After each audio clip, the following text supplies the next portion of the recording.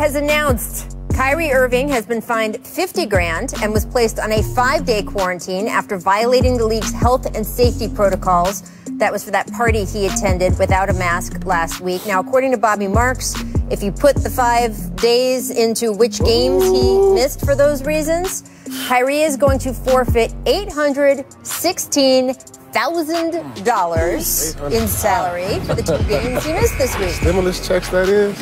Now, sources telling our Adrian Wojnarowski, Kyrie is expected to play against the Magic tomorrow. Steve Nash was asked about that in a press conference today. He had no details on how the reintegration would go. He said, "I have no update on how Kyrie would get back reintegrated into the team to play tomorrow." So we will still wait and see. Welcome to The Jump. I am Rachel Nichols alongside Coach David Fizdale, 2008 Finals MVP Paul Pierce. And guys, coming up, we got Luka versus Giannis tipping off in less than five hours right here on ESPN. Oh, yeah. Later in the show, we will handicap the MVP race where these two are the front runners in Vegas. Woo! First, though, we begin today's show with, of course, James Harden. Just made his first public appearance as a member of the Nets, spoke to reporters virtually in the last few minutes, addressed a lot of the lingering questions surrounding his departure from Houston and his future in Brooklyn. Take a listen. What does it represent? What does it mean to you? Uh, it means a lot.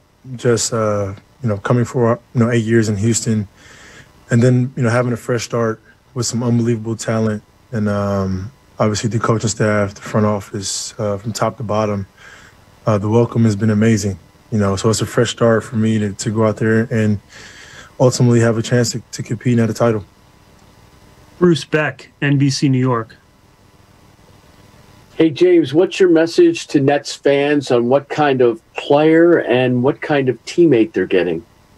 Um, an elite player, an elite teammate, um, an elite leader, um, and just a guy that's willing to do whatever it takes um, to rack up as many as many wins as we can.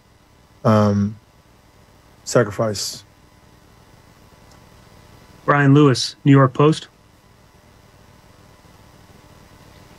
Hey James, uh, welcome. Uh, following up on that, I mean, you've proven yourself to be an elite player, and KD's an elite player, Kyrie's an elite player. All you guys have had the ball in your hands and been asked to make big shots. I'm curious how the three of you make sure that you guys come together and keep the main thing the main thing and find a way to gel for the greater good. Chemistry, uh, sacrifice, and and like you said, we're all elite. You know, so depending on the game, depending on you know what's going on throughout the course of the game, that's going to determine who gets the ball and, and who makes the plays. Um, We're all unselfish. We're all willing passers, and we we play basketball the right way, um, and that's all that matters. Otis Livingston, CBS New York. Hey James, welcome to Brooklyn. Um, from your post-game comments after the Lakers lost to what your teammates were saying about you as far as being disrespectful, uh, and also you being held out of practice until a trade was made, it got pretty ugly at the end of your tenure in Houston. Is there any part of you that regrets the way that it ended? I wasn't disrespectful to anyone. Um, those guys, I just got there, Houston. Um, I've been there for a very long time. I've been through all the ups and downs, um, you know, with that organization. And I wasn't disrespectful towards anyone. You know, I just made a comment, you know, that the team as a, as a whole wasn't good enough to compete for a title. And, you know, at the stage of my career, right where I am now, um, that's what I would love, you know. And so I wasn't trying to be disrespectful to anybody, um, especially not to the organization. And um, like I said, just I'm, I'm, excited to be here in Brooklyn, and um, you know, excited for a new start. But do you re- do you regret the way it ended? Though I mean, it's a place that you loved and you had so many highlights. Yeah, I I, re- I, regret because I'm not the type of guy to you know I don't need the attention, especially the negative energy, the negative attention. Like I've never been that guy. Um, you know, so there was, there were some things you know, I felt like out of my character, um, but the ultimate goal was to get somewhere, um, you know, where I can compete. And here I am in Brooklyn. You know, I have nothing but love and respect for that organization, uh, that city, um, and everything that has, they've done for me and my family. uh, much respect. Hey, James. Uh, first and foremost, welcome to Brooklyn.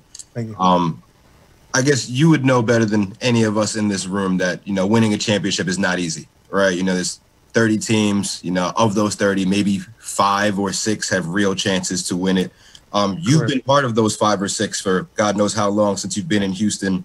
Uh, you've had multiple runs deep. You've had it with different players from Chris Paul, Russell Westbrook, uh, Melo, Dwight. Uh, I'm just curious as to what gives you the confidence that this time around will be different and that this group can get it done. Um, you, I mean, obviously you got Kevin Durant and Kyrie Irving on the team, and then surrounded by those guys, um, you have really good pieces in DeAndre, uh, Jeff, shooters, um, and Joe, uh, Landry, um, and I mean, you just look at this entire roster, and it's built um, for any style of, of basketball you want. Um, and then the coaching staff, who you know knows the game of basketball at a high level you just add that all together and it's like uh, that's a that's a legit chance right there. It was a no brainer for me. Rachel Nichols, ESPN. Hey, James. Uh, obviously, so many great players go without winning a title. There's guys in the Hall of Fame without winning a title. But how about you? How do you see your career in terms of how important it is to actually win that title to complete what you want to do in basketball? Uh, it's not a guarantee to me coming to Brooklyn is you know guaranteeing a title, Rachel. But I think for me, giving myself a chance is very very important. Um, you know, at younger.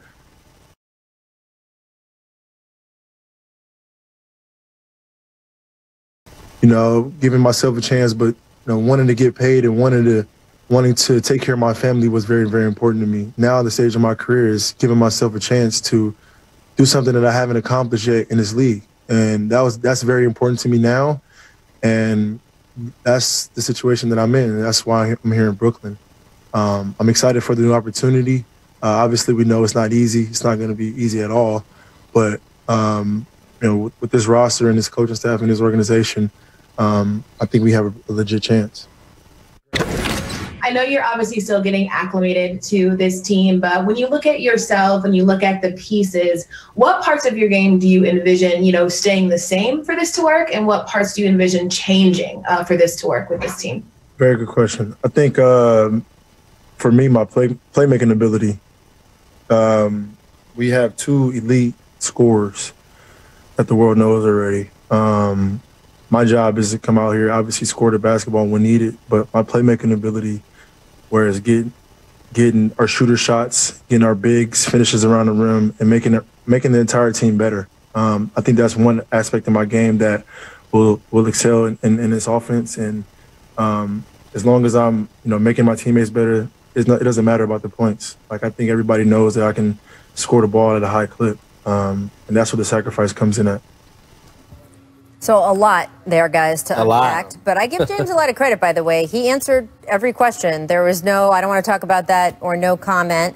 Paul, you were a part, of course, of the Celtics Big 3 KG, Ray Allen, and yourself. Fizz, you coached the Heat. You're the lead assistant on the bench with the Big Three, with, of course, LeBron, Wade, and Bosh down in Miami.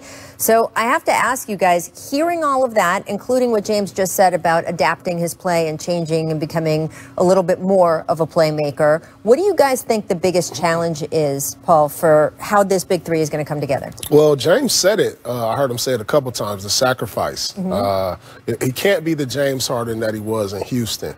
But my question is to the to the New Jersey Nets is the style of play. because- Jersey? I mean, the Brooklyn Nets. Where you going, man?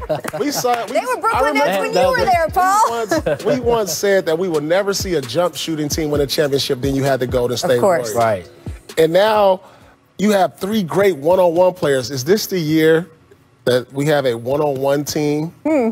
style of play? I mean, that's who they are. I mean, am I going to ask James to cut back door? Am I going to ask him to spot up? Am I going to ask the same of Kyrie? So my question is, what style of play? Can they be the first one-on-one team, ISO team to win? Hmm. We, we have yet to see, and, and I and I don't know what style of play that's going to be because you have to use these players to their strength. But the sacrifice, that's going to be the biggest things in James Yeah. is going to have to do in order for this team to succeed. Yeah, and that's that's the word I kept hearing, sacrifice.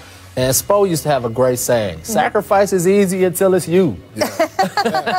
and so we're gonna see if these guys are willing to sacrifice. And what does that look like? What does that mean?